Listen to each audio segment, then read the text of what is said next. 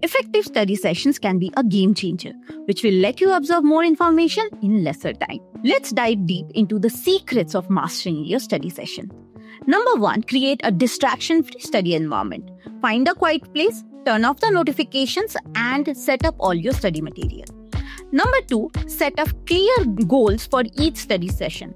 Whether it's reading a chapter or practicing problems or reviewing notes, having clear objectives will keep you focused. Number three, practice active learning techniques. Engage with the study material by summarizing it, creating mind maps, or by teaching the concept to someone else.